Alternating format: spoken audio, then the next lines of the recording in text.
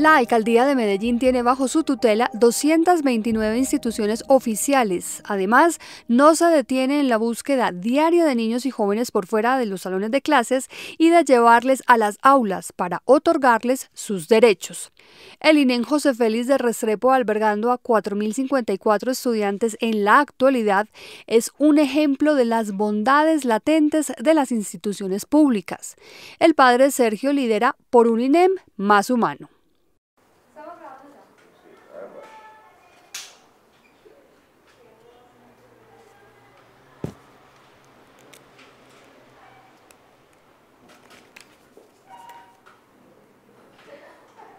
Aló, buenos días. Aló.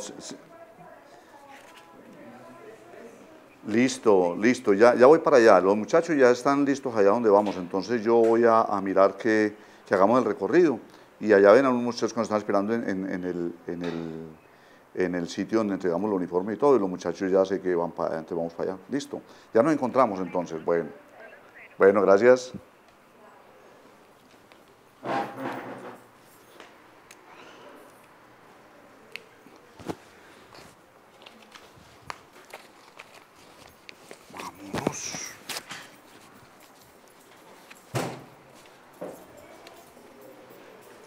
Voy para los uniformes y voy a estar con lo del reciclaje, porque vamos a hacer una toma con los muchachos allá de cómo estamos trabajando. Listo.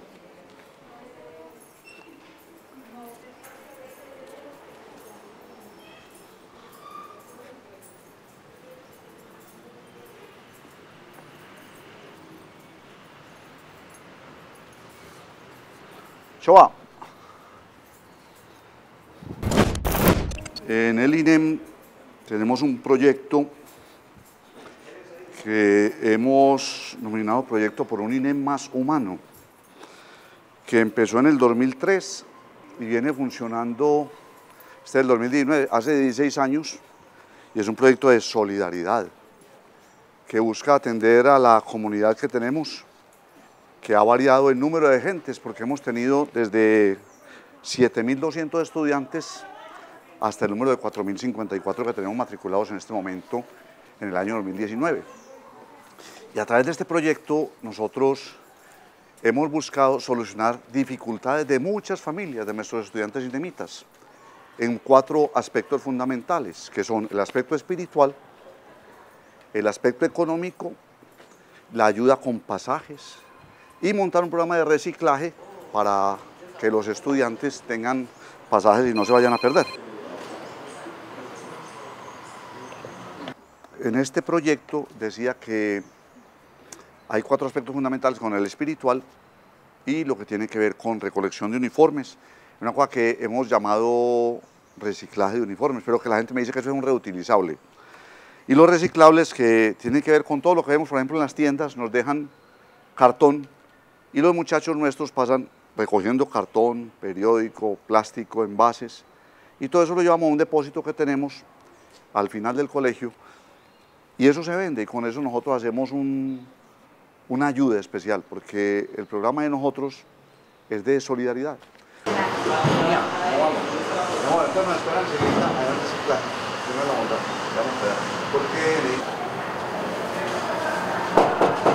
Profe.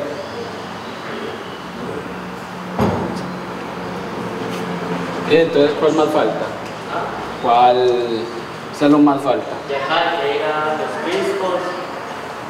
Hay que ir a Cremelado. Ah, ah, donde Profe, buenos días. ¿Usted tiene reciclaje?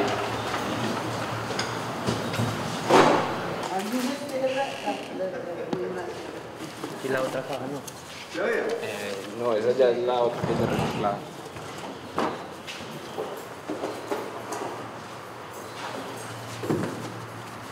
Aquí el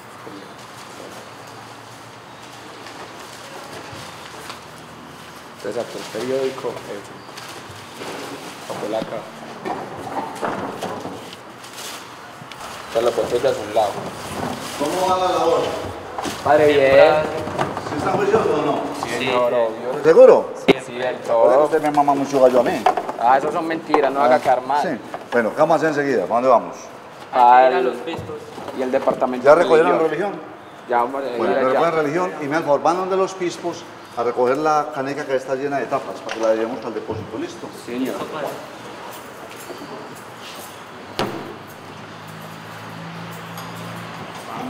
¿Ya le vienen a recoger el dar? Sí, señor.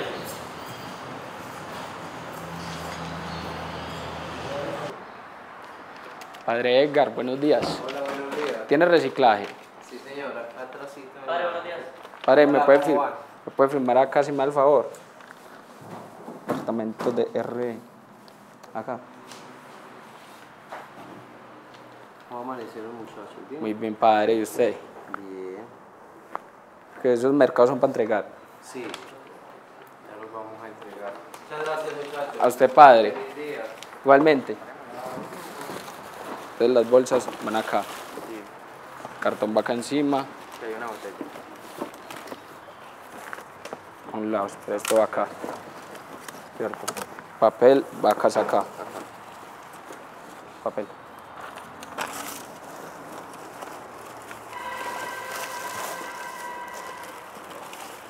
Cuando llegué al INEN en el 2001, yo vi grandes necesidades y entre ellas todos estos aspectos. Por eso me di a la tarea de montar en el 2001, en el 2003, un proyecto que llamó así, Proyecto por un INEN más humano, buscando que a la gente le atendiéramos las dificultades que puedan tener. Todos somos humanos y todos tenemos muchas debilidades. Entonces contamos con una ayuda muy grande, que son todas estas tiendas escolares. El colegio tiene cerca de 15 tiendas. Y los muchachos pasan con unas carretillas recogiendo todo este material todos los días. Y para que nos quede constancia de que sí están cumpliendo con el trabajo, ellos tienen que ir a cada tienda y pedir la firma de que sí pasaron, de que sí recogieron. Y todo esto lo vamos a ir organizando todos los días.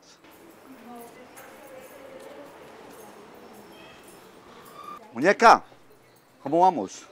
¿Ya me recogieron hoy o no? Ah, pésteme, yo me llevo ese poquito que lo dejamos allí en la de pasada, ellos me lo recogen allá. Ni Dios te pague. Gracias. Bueno, mujer. Listo, Mónica. Dios lo pague. Gracias. Chao.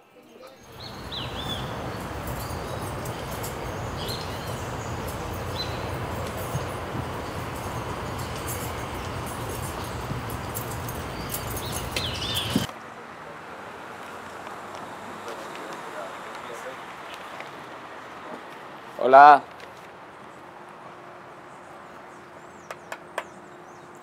Buenos días. Eh, ¿Tiene reciclaje?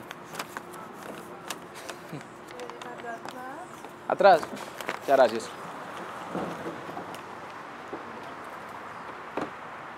Vamos.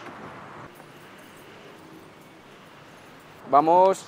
eh, pues tengo entendido que ya de antes de nosotros venir ya hay una concientización de que cada tienda guarde lo que es el cartón, los envases de gaseosa, eh, papeles, cartón. Y ya nosotros vamos pidiéndolo y haciéndolos firmar en esta hoja. que Esta hoja tiene todas las tiendas que hay en el colegio. Ya ellos nos dicen dónde están o nos lo entregan y nosotros ya lo recogemos y lo llevamos a la bodega. ¿Ustedes son estudiantes de qué año? ¿Por qué están en este cuento? Eh, yo soy de grado décimo, pues los tres somos de grado décimo. Yo estoy en procesos matemáticos.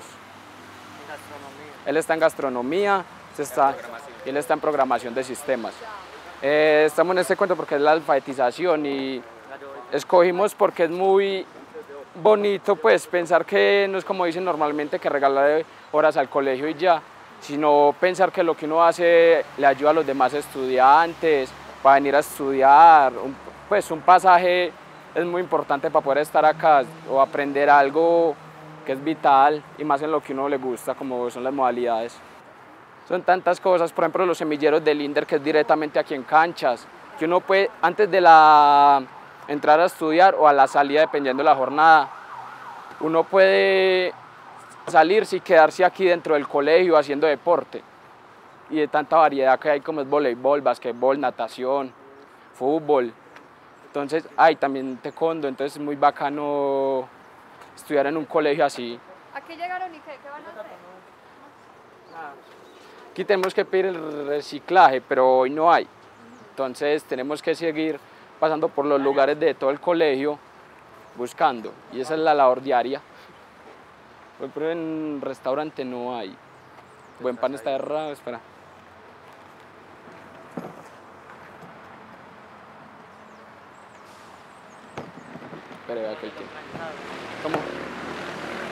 Ser solidario, ayudar a todas las personas. Cuando tienes la capacidad de hacerlo, no dudarlo, porque lo peor es tener una necesidad y no contar con el apoyo de alguien, pero siempre tener la mano para alguna persona. Yo creo que eso es la ma- mayor enseñanza que este colegio, ser solidario, ser más humanos con todas las personas que nos rodean.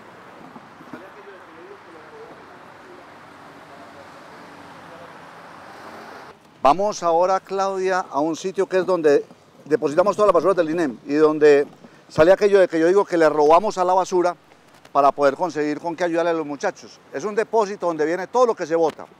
Pero de ahí sacamos mucha cosa que no se filtró en, la primera parte. Entonces aquí encontramos cartón, encontramos plástico, hasta palos de escoba.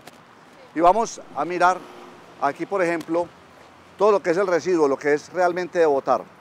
Y la otra partecita es que lo que logramos recuperar aquí de cartón bueno, plástico, entonces los muchachos lo van llevando para, para el reciclaje, que todo eso lo vamos dejando a un lado y de aquí llevamos nuevamente para... De aquí es donde digo, le, robamos a la basura. Ese es el término, le robamos a la basura con que ayudar a los muchachos.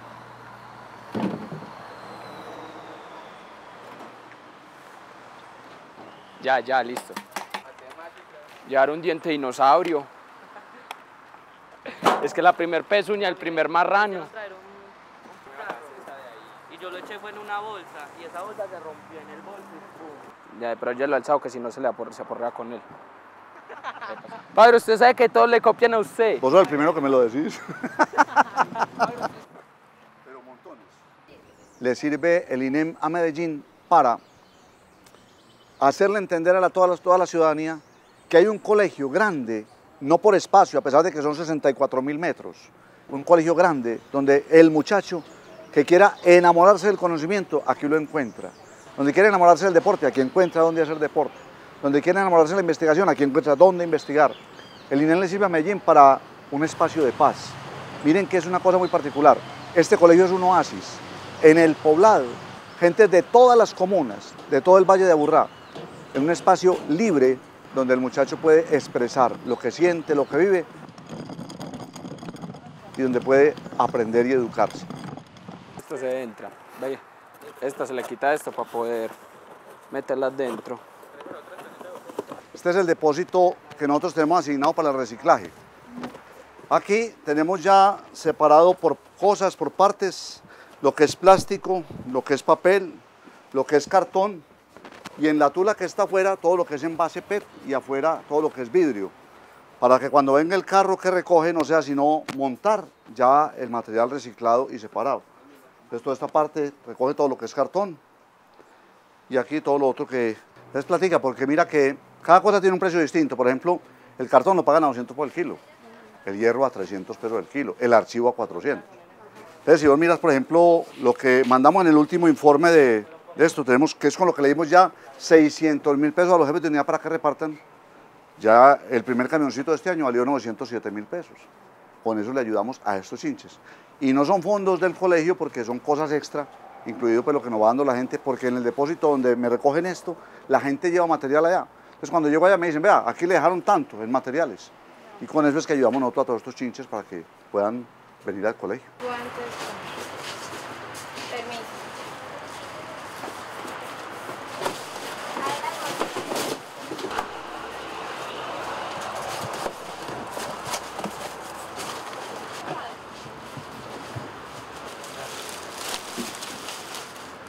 Eh, pues esto es como una labor que se va pasando entre sí. Por ejemplo, normalmente los alfabetizadores llegan un día antes de que los que van a terminar se vayan. Entonces, entre ellos son los que le dicen a uno, esto va de tal forma, esto va de tal forma, es un costal para esto, un costal para aquello.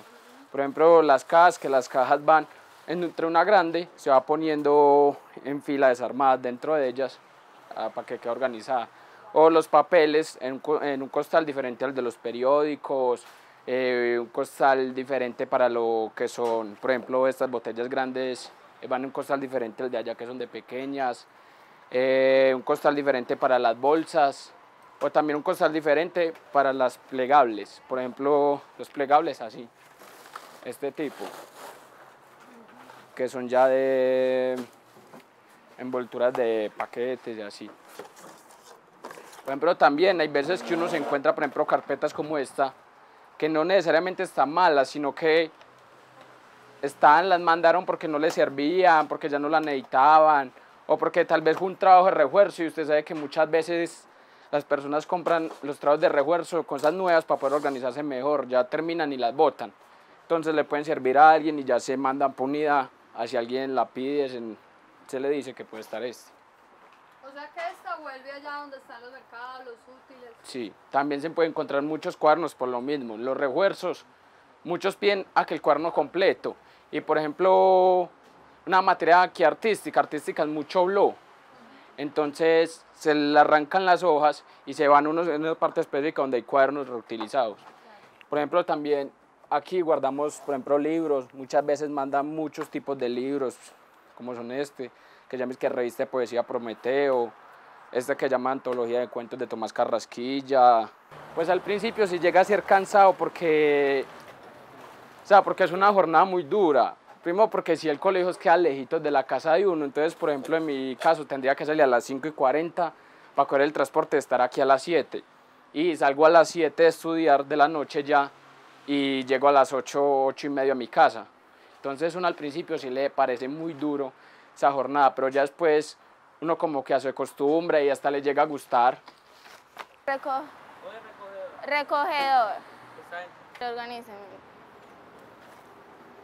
Yo actualmente las veces que he visto las noticias, eh, solo sal, salen cosas malas y la gente dice, ay, no, que, que pues las cosas negativas que han pasado en el colegio. Y yo digo, ¿por qué siempre tan amarillistas? ¿Por qué no muestran las cosas buenas del INE? Es que la gente conoce de dientes para afuera, pero la gente no sabe que el INE prácticamente nosotros no venimos al colegio porque, uy, es la obligación de venir a estudiar. No, uno le dan ganas de venir al INE porque el INE es lo que, lo que le inspira a uno, lo que los inspira al estudiante. O sea, motiva, motiva a venir los profesores, la educación, y no solo se centralizan como hoy hay que enseñarles, sino que también nos forman como personas, más lo que nos ofrecen, también nos enseñan a ser personas solidarias, personas de bien, y, y personas que, por ejemplo, yo no soy una persona de hacer mucho aseo, que sea súper buena en esto, pero acá pues me han enseñado que también hay que cuidar el medio ambiente porque, por ejemplo, estos días he tenido que estar en el reciclaje y, y, separando el plástico, separando el cartón.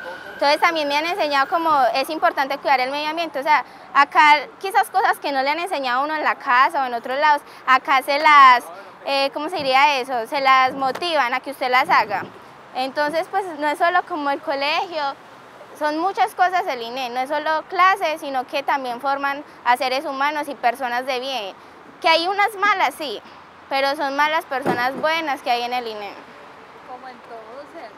Sí, es que todo tiene cosas malas, no, no todo siempre puede ser bueno y la gente pretende, uy, por una cosa mala ya todo se, ya se clasificó como, uy, muy malo, ¿no? Pero acá la educación es buena, hay personas buenas, los profesores son excelentes, en el INE entonces bueno pues porque yo amo mucho al INE, entonces sí, eh, me siento como parte de una INEMita, entonces el amor al colegio.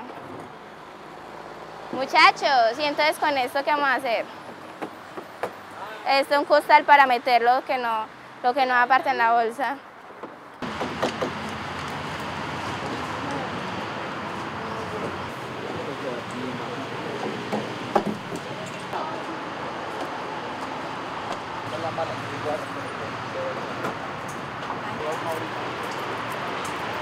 Bien, perfecto. Como tal, por INE Más Humanos siempre ha sido un proyecto que ha beneficiado bastante a los estudiantes.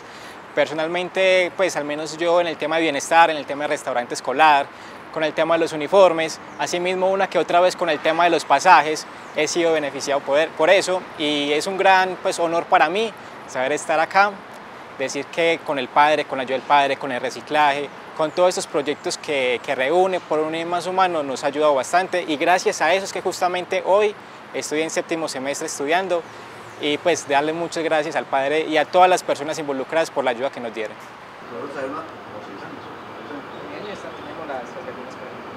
¿Cómo vamos? Haceme un favor.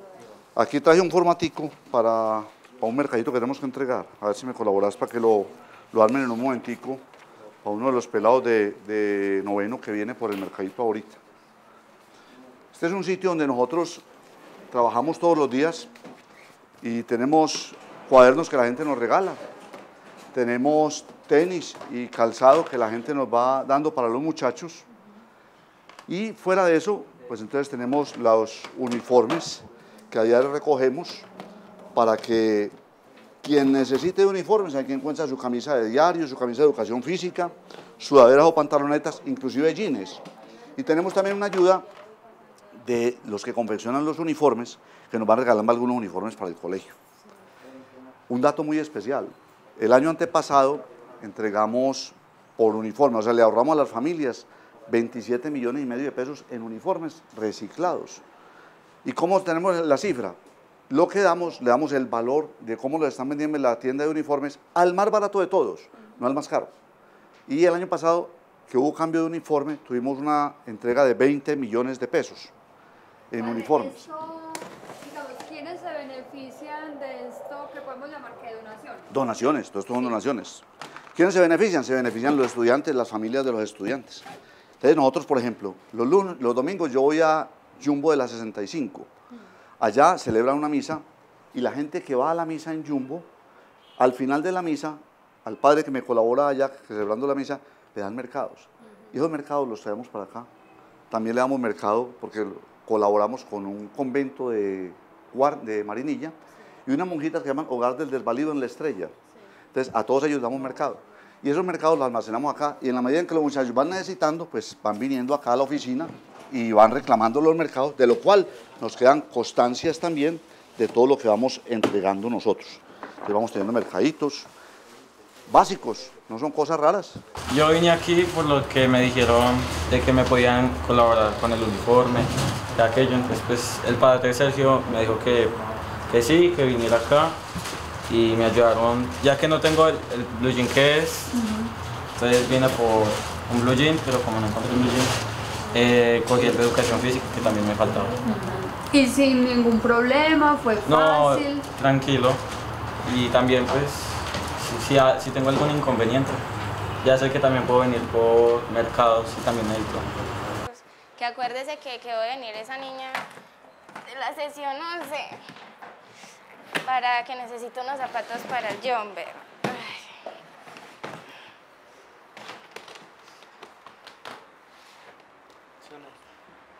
Pues sí, pero esa es la talla de ella. Cuadernos, lápiz, pinturas, eh, reglas también, zapatos, porque no solo es como los jumpers, sino también se das, mira, los zapatos sino también los zapatos, pues los implementos de estudio que no tienen, acá se les puede colaborar con ellos. Okay. Sí. Entonces, permiso, pues porque hay que poner las cajas y con cuidado porque esto se quiebra muy fácil. Entonces esta para María Isabel. ¿Y quién es la otra persona? Que nosotros dejamos un formato de constancia y te da una cifra de mercados, te da una cifra de uniformes. El año pasado, por ejemplo, fue menos la cantidad de uniformes que entregamos. Entregamos 27 millones 600 en el año 2017. El año 2018 hubo cambio de uniforme, los museos venían con su jean, entonces no necesitaban los jumpers, las niñas ni nada. Entregamos 20 millones y un poquito más. Y hacía la cuenta antier de lo que hemos entregado hoy, hasta hoy, y hemos entregado en uniformes hasta el día de antier 24 millones 437 mil pesos. Y en mercados, pues cada mercado básico tiene un costo aproximado de 50 mil pesos. Entonces, lo que podemos lo damos. A fin y nosotros nos están dando todo, todo lo regalamos. Entonces, ¿aquí qué están haciendo los chicos en este Ellos van separando mercados para las familias que van solicitando. Entonces, hacemos un formatico de entrega, muéstrame hija ese formatico, un formatico de entrega, donde están relacionados los productos que les estamos entregando a las familias. Si arveja, aceite, arroz, lo que vamos teniendo, no tenemos de todo, pero te vamos ordenando y lo que vamos teniendo lo apuntamos y lo entregamos a las familias. ¿Y los chicos son estudiantes? Los muchachos son del proyecto de Por un INE más humano en el servicio social obligatorio del estudiantado. ¿Vos en qué grado estás? Estoy en décimo. Décimo, ¿y vos? También. Son los que están, estudiamos en la tarde, pero que vienen en la mañana a prestar el servicio social. Vamos ahí, no.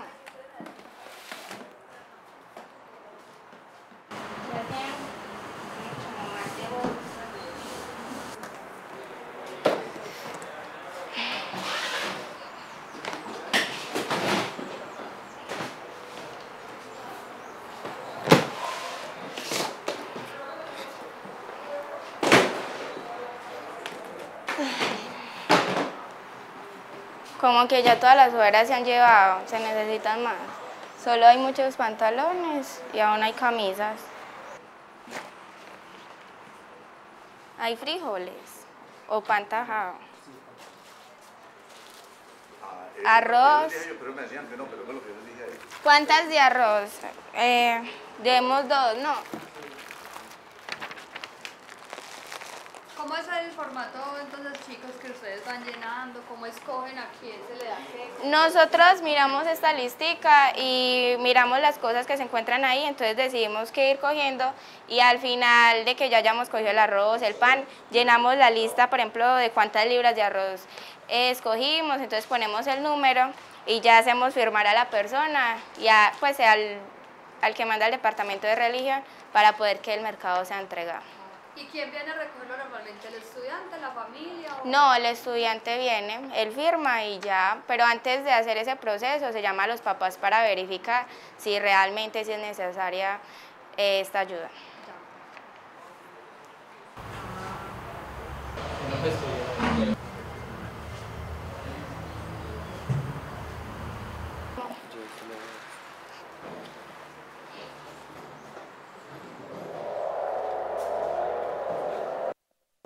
La idea es que todos los egresados o todas las personas que ya son exalumnas de la institución sigan ligadas al colegio. La verdad es que el INEM los extraña, el INEM los quiere y lo pueden hacer de muchas formas, pueden ayudar de muchas maneras. La primera es donando los uniformes, es entregándolos acá, hay muchas personas que lo necesitan y hay otras formas como el tema de reciclaje, el tema de a veces aportes económicos y no solo económicos, sino a veces que los estudiantes vegan, los egresados, que son excelentes, que son muchos y que puedan aportar conocimiento. Total, nosotros tenemos muchos problemas, pero eso es lo que nos hace grandes, porque después de cada problema vemos cómo vamos como el ave fénix resurgiendo para hacer que el INEN sea cada día más grande y para que todos los muchachos que salen de aquí sientan ese orgullo de decir yo soy INEMITA. Según reporte de la Secretaría de Educación de Medellín, a febrero de 2019 se encuentran matriculados en instituciones públicas de la ciudad un total de 299.975 estudiantes.